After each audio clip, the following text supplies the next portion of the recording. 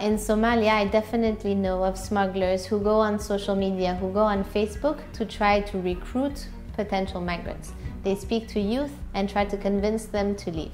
So it's true that in some cases they can generate a demand, but in most cases they don't.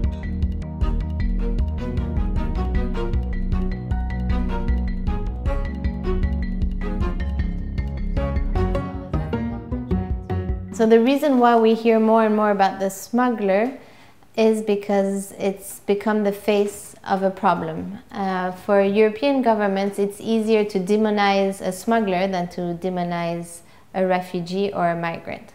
So it's very useful to have a face to put on a problem. It's, it's highly likely that by doing so, you can more easily um, push uh, policies against, against migration and irregular migration. But beyond what we hear in the media and beyond what we hear from the governments, which is usually that smugglers are criminals, uh, that they're predators, that they're dangerous, that it's like a mafia, what we need to look at is the country of origin perspective. In those countries, um, smuggling is not a big economic or criminal organization. It's not an organized crime. It's actually a social practice. There's a social organization behind smuggling. From Afghanistan to Somalia, everyone will tell you in their neighborhood, in their village, in their city that they know of a smuggler. The smuggler is a distant relative, a friend, somebody they've known for years. The smuggler can be a returnee who's come back and his only job and his only way to use his migration in any positive way is to help others get through the migration journey. They prefer to call themselves travel agents, helpers, handlers people, migrants, prefer to refer to them as their brothers. One uh, Somali migrant whom I spoke with uh, told me that the smuggler is their passport. When their real passport doesn't give them access to countries, smugglers do. So there's a positive image of the smuggler, the one that is helping migrants leave situations that they need to leave. So it's very different from the discourse we hear here in Europe. In Somalia, I definitely know of smugglers who go on social media, who go on Facebook to try to recruit potential migrants. They speak to youth and try to convince them to leave. So it's true that in some cases they can generate a demand, but in most cases they don't. In most cases they don't recruit, they respond to a demand. So let's take um, one uh, case study of a smuggler who I met in Afghanistan. And let's call him Shingul. Shingul uh, started working as a smuggler uh, because he had no other job to do in Afghanistan. He was himself a refugee in Pakistan. He then became a migrant in Iran. So he lived in all those countries in the region close to Afghanistan through which people have to go through to get to Europe. When he came back to Afghanistan, uh, he had no other job. He decided to start helping out some friends to get to Iran for work, then from Iran to help them get to Europe.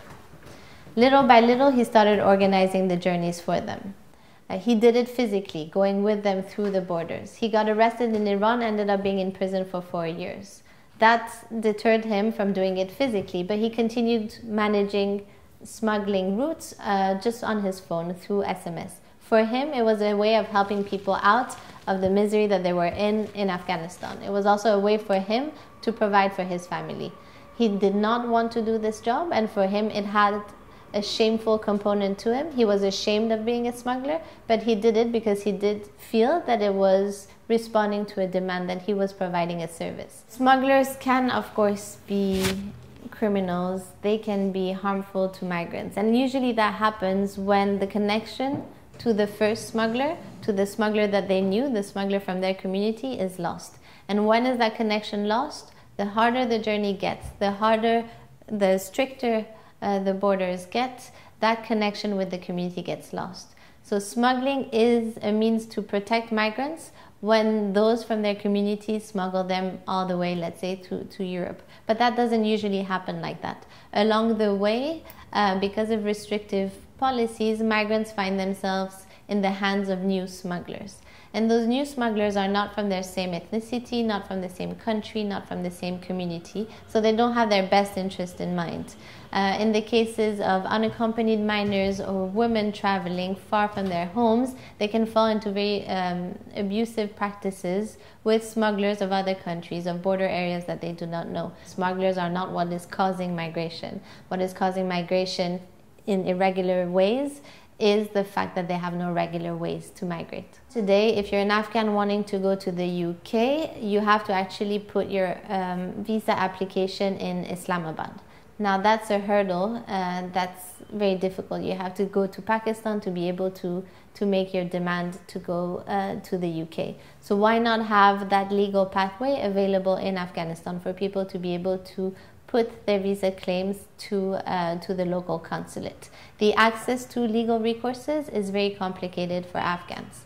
Um, and it is the same in other countries around the world. So providing legal ways just means more simply to make visas accessible and demands for visas accessible to all.